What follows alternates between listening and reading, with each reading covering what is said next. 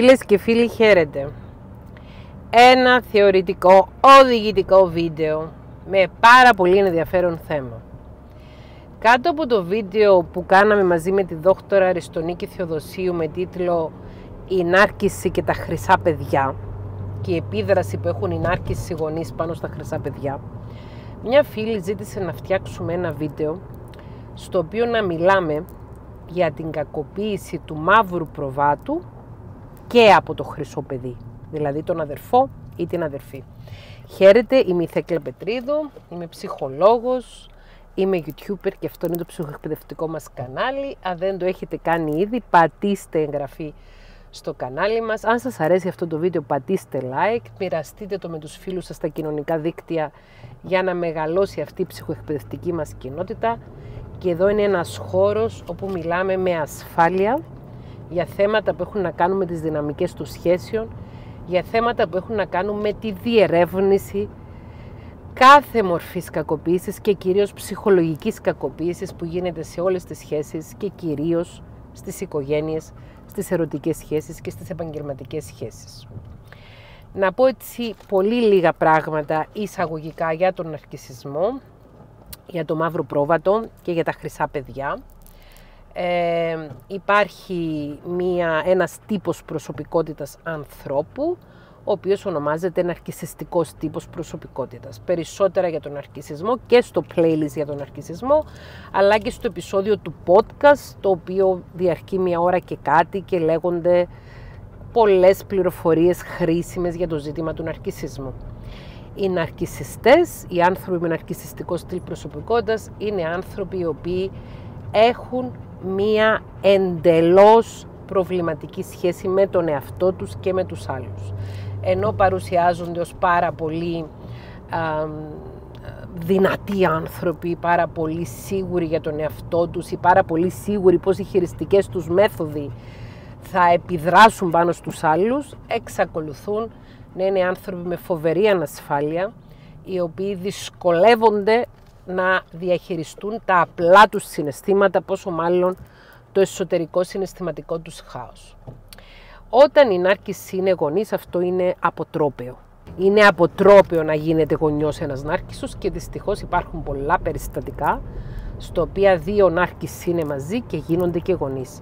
Υπάρχει ένα βίντεο το οποίο ε, στο κανάλι μας που έχει τίτλο «Δυο νάρκηση μαζί και αν είναι και γονείς» να θυμηθώ να το βάλω στην περιγραφή αυτού του βίντεο ή μπορείτε να το ψάξετε στο search του YouTube γράφοντας δύο νάρκηση μαζί θέκλα θα σας βγάλει αυτό το βίντεο.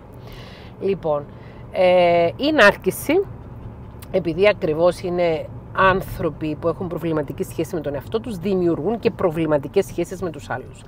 Δεν ξέρουν να συνδεθούν με ένα υγιές τρόπο και ο υγιής τρόπος σύνδεσης με άλλους ανθρώπους είναι ο τρόπος εκείνος που έχει να κάνει με το σεβασμό και την εκτίμηση του άλλου ανθρώπου, με την ενσυναίσθηση, με τη συμπόνια, με την ανθρώπινη ζεστασιά, την επικοινωνία και γενικότερα το ουσιαστικό μοίρασμα. Μοίρασμα στιγμών, μοίρασμα συναισθημάτων, μοίρασμα ευχαρίστησης, μοίρασμα λύπης, μοίρασμα χαράς.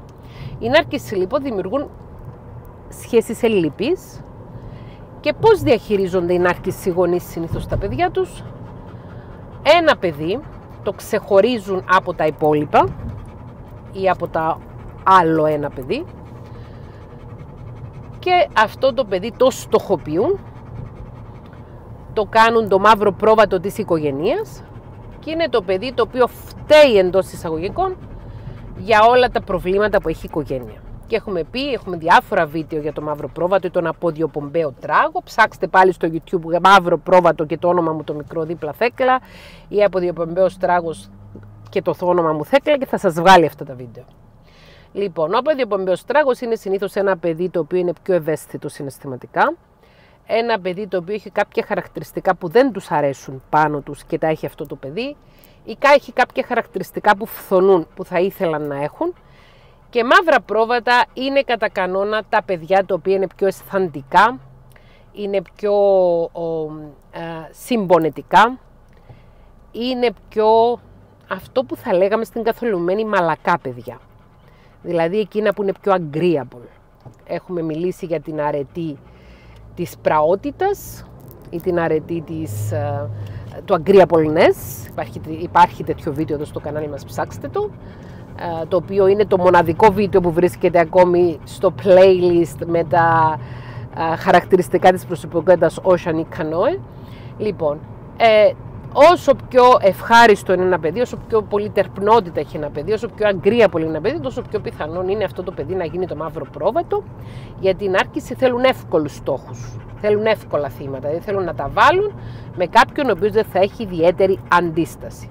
Οπότε τα παιδιά που δεν τους μοιάζουν, τα παιδιά που δεν είναι ναρκισιστικά, τα παιδιά που δεν είναι σκληρά και άτεγκτα, τα παιδιά τα οποία είναι agreeable, τα οποία έχουν αυτή την πραότητα και τη συμφωνητικότητα, παίρνουν συνήθως σε μια οικογένεια ναρκίσεων το ρόλο του μαύρου προβάτου ή του αποδιοπομπαίου τράγου.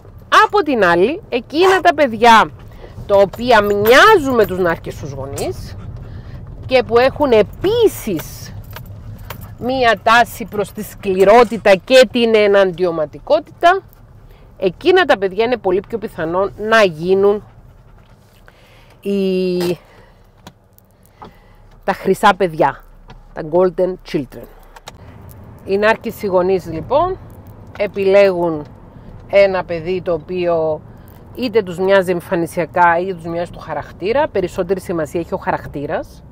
Γιατί είπαμε ότι αν κάποιος είναι αγκρία πολύ είναι πιο εύκολο να παίξει το ρόλο του μαύρου προβάτου. Ενώ αν είναι εναντιωματικός, αν είναι disagreeable, είναι πιο εύκολο να παίξει το ρόλο του χρυσού παιδιού. Και άρα εκείνο το παιδί που σηκώνει κακοποίηση το κακοποιούν, εκείνο το παιδί που δεν σηκώνει κακοποίηση το καλοκρατούν. Και όπως έχουμε πει και στο βίντεο το οποίο ήταν το αρχικό βίντεο που αποτέλεσε την αφορμή για αυτό το βίντεο μαζί με τη δόκτωρα Αριστονίκη Θεοδοσίου, το να είσαι το χρυσό παιδί των άρχισων γονέων έχει καταστροφικές συνέπειες για το χαρακτήρα σου γιατί πολύ πιθανόν να καταλήξεις και εσύ ένας άνθρωπος με ναρκιστικό στυλ προσωπικότητας ο οποίος και να ταλαιπωρείς τους άλλους και να μην έχεις και την ικανότητα να χαρείς αυθεντικά τη ζωή σου. Θα μου πείτε τα μαύρα πρόβατα έχουν την ικανότητα να χαρούν αυθεντικά τη ζωή τους; Θα πω ότι τα μαύρα πρόβατα, ότι οι αποδιοπεμπαίοι τράγοι των οικογενειών επειδή ακριβώς είναι άνθρωποι οι οποίοι είναι τρυφεροί και ευαίσθητοι, οι οποίοι έχουν αισθαντικότητα, έχουν agreeableness, ε, είναι μαλακοί άνθρωποι, δεν είναι σκληροί. Χρησιμοποιώ όρους της καθομιλουμένης, αλλά για να καταλάβετε ακριβώς τι εννοώ. Δεν είναι σκληρό το εσωτερικό τους, είναι άνθρωποι οι οποίοι νιώθουν, αισθάνονται συναισθήματα.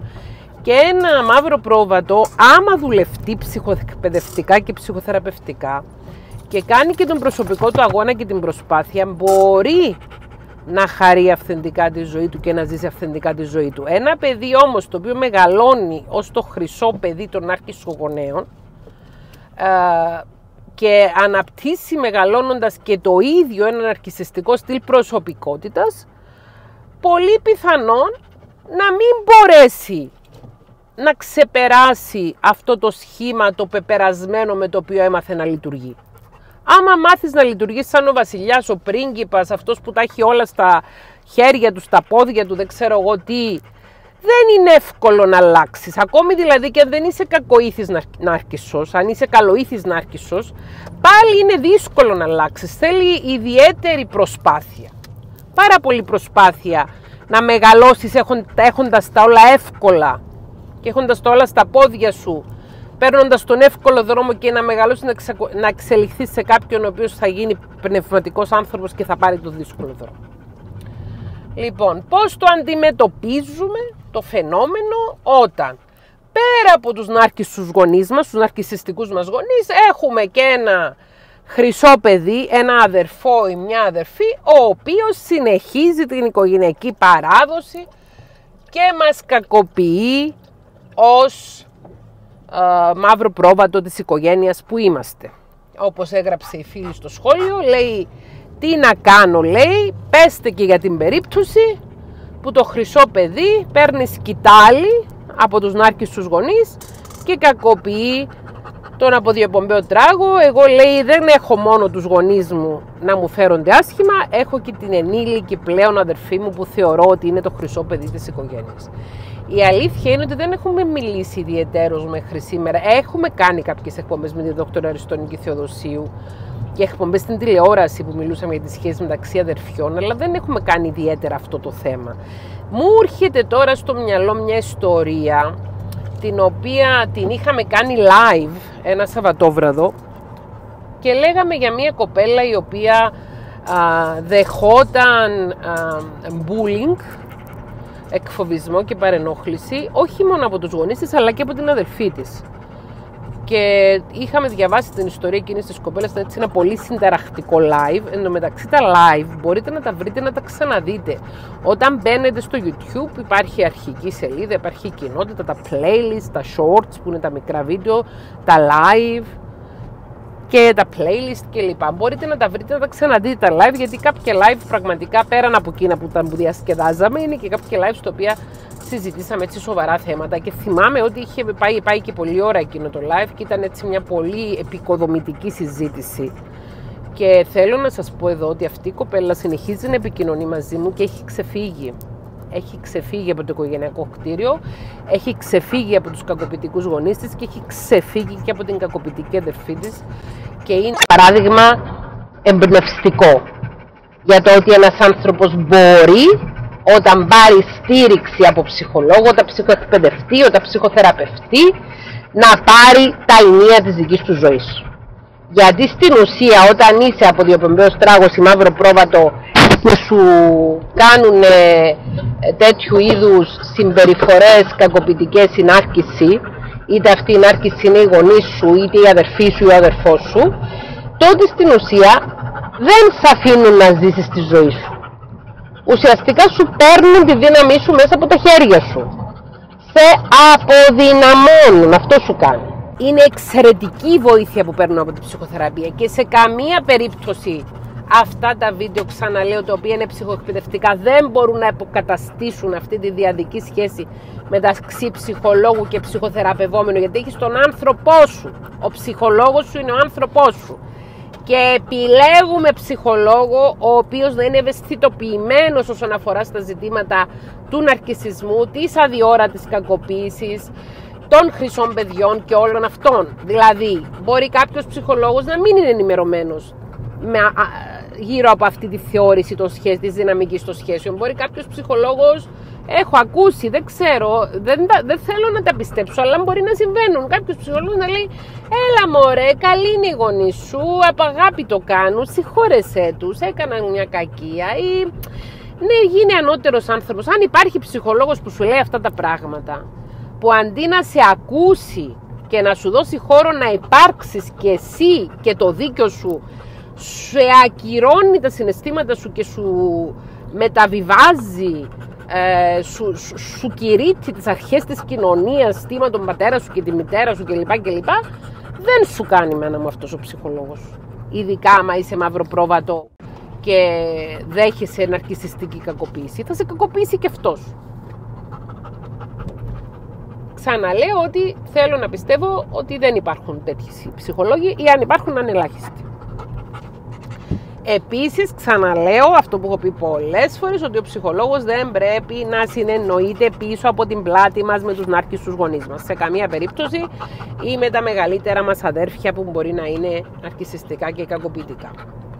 Όταν πάμε στο ψυχολόγο πρέπει να έχουμε την μοναδικότητα στη σχέση και να συζητάει μαζί μας και αν θα μιλήσει και αν θα δει άλλους ανθρώπους από την οικογένεια θα τους δει στα πλαίσια της οικογενειακής συνάντησης που να είμαστε κι εμείς μπροστά και δεν θα κόβει κουβέντες πίσω από την πλάτη μας να πηγαίνουν δηλαδή να του λένε διάφορα για μας οι, οι, οι εχθροί μας στην ουσία γιατί αν δέχεσαι ναρκισιστική κακοποίηση σε μια οικογένεια είναι εχθροί σου οι γονείς σου που είναι ναρκιστικοί και οι αδερφοί σου που είναι χρυσό παιδί και είναι επίσης ναρκισάκι. Ο ψυχολόγος πρέπει να συνεργάζεται με σένα, όχι με τους εχθρούς σου. Είναι δύσκολα πράγματα αυτά, είναι πάρα πολύ δύσκολα. Μιλάμε για μια οικογένεια που αντί να είναι ένας χώρος ασφάλειας και σεβασμού, να είναι ένας χώρος μάχης. αυτό το οποίο περιγράφουν ότι δίνει σε πολλούς ανθρώπους η θεραπευτική σχέση, η ψυχοθεραπευτική σχέση, κανονικά, ιδανικά, φυσιολογικά θα έπρεπε να το δίνει η οικογένεια.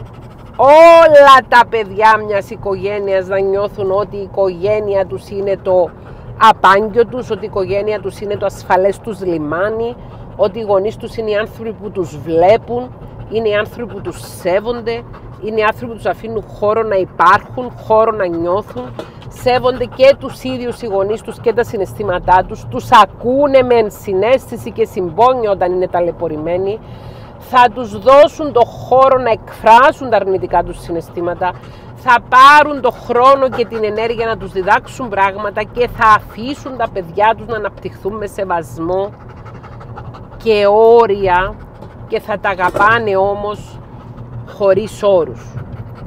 Δυστυχώς σε μια ναρκισιστική οικογένεια έχουμε το αντίθετο της οικογένειας. Η λέξη οικογένεια όντως είναι ιερή. Είναι ιερή όμως όταν είναι μια πραγματική οικογένεια. Και καταλήγουμε στις μέρες μας πολλοί άνθρωποι να βρίσκουμε την πραγματική μας οικογένεια στη θεραπευτική μας σχέση Δηλαδή να νιώθουμε ότι ο πρώτος άνθρωπος ο οποίος μας κατάλαβε σε αυτή τη ζωή ήταν ο ψυχολόγος μας και μεγαλώνοντας και οριμάζοντας ψυχοσυναισθηματικά να βρίσκουμε την οικογένεια στους φίλους που επιλέγουμε οι οποίοι απολογούμε για το θόρυβο υπάρχει εδώ ένα σκυλί το οποίο είναι τρελαμένο και να βρίσκουμε οικογένεια στους φίλους μας οι οποίοι είναι άνθρωποι ολόκληροι το ιδανικό θα ήταν οι οικογένειες όλες να ήταν σαν τις ψυχοθεραπευτικές σχέσεις. Και το ιδανικό θα ήταν οι γονείς να είναι ψυχοσυναισθηματικά έτοιμοι για να γίνουν γονείς. Και το ιδανικό θα ήταν οι γονείς να αναλαμβάναμε τις ευθύνες μας, να αναγνωρίζαμε τις ευθύνες μας, ε, να αναλαμβάναμε τις ευθύνες μας και να τις εκτελούσαμε με προσήλωση και ενδελέχεια. Λοιπόν, αν ο αδερφός μας ή η αδερφή μας μας κάνουν bullying, αν είναι τα χρυσά παιδιά των άρχισων γονέων μας και ακολουθούν την πορεία τους και έχουν πάρει σκητάλη από αυτούς, να τους βάλουμε στη θέση τους. Και μπορεί να μην μπορούμε τώρα, σήμερα, να τους βάλουμε στη θέση τους. Μπορεί να είμαστε εμείς 15 τον και αυτοί 25. Μπορεί να είμαστε σε μια φάση που να μην είμαστε έτοιμοι να αντιδράσουμε αλλά μέσα στο μυαλό μας τους βάζουμε στη θέση που ανήκουν. Αυτό είναι ένα ναρκισάκι το οποίο είναι κακέκτυπο, κακό αντίγραφο της μάνας μου ή του πατέρα μου που μου έχουν ρημάξει τη ζωή. Ναι, και στις σχέσεις μεταξύ αδερφιών, εάν υπάρχει ψυχική κακοποίηση, αν υπάρχει ναρκισιστική κακοποίηση, εάν υπάρχει αδιόρατη κακοποίηση, ναι, πρέπει να ανοίξουμε τα μάτια μας, πρέπει να ανοίξουμε τα αυτιά μας, να το δούμε, να το παρακολουθήσουμε, να το αποδεχτούμε και να σταματήσουμε να ζούμε με ψευδεστήσεις. Να σταματήσουμε να νομίζουμε πως έχουμε αδερφό ή έχουμε αδερφή όταν έχουμε στη θέση του αδερφού και της αδερφής ένα χρυσό παιδί το οποίο κάνει ξερατά όλα του τα δικά του εσωτερικά σκατά πάνω μας. Εντάξει. Γιατί είπαμε, οι νάρκες στοχοποιούν ευάλωτους ανθρώπους για να βγάζουν τα αποθυμένα τους και να χρησιμοποιούν τους άλλους ως μέσον εκτόνωσης. Δεν είναι αδερφός μας άμα λειτουργεί έτσι, δεν είναι αδερφή μας άμα λειτουργεί έτσι. Ξέρετε πώς είναι ο αδερφός και πώς είναι η αδερφή; Ο αδερφός και η αδερφή, η πραγματική αδερφή που αξίζουν σεβασμού είναι αυτός ο οποίος νοιάζεται για την ευεξία του αδερφού του του αδελφού της, της αδελφής της, του, αδελφού της που γνιάζεται και πραγματικά ο οποίος θέλει να είναι καλά η μικρή της αδελφή, ο μικρός της αδελφός κλπ. ή ο μεγαλύτερος. Αυτός ο οποίος πονάει με τον πόνο του αδελφού του και χαίρεται με τη χαρά του αδελφού του. Αυτός είναι ο αδελφός εκείνος που φθονεί, εκείνος που λιδωρεί, εκείνος που κοροϊδεύει, εκείνος που συμπεριφέρεται σαν να είναι ξερόλας και ο αδερφός του ή η αδερφή του είναι ηλίθι, εκείνος δεν είναι αδερφός. Είναι νάρκισσος. Είναι κακοποιητής. Και δεν έχει θέση στη ζωή μας, Λάκη. Πες τα, Λάκη, κι εσύ. Έξαλλος. Σήκωσε την κούπα. Γονάτισε πάνω μου. Έξαλλο το σκυλί, έξαλλο το σκυλί. Το σκυλί πήγε στο κτηνίατρο, έβαλε εμβόλιο. Ναι, είναι και εμβολιασμένο τώρα. Έβαλε το χρονιαίο του εμβόλιο το σκυλί. Το σκυλί. Αυτά.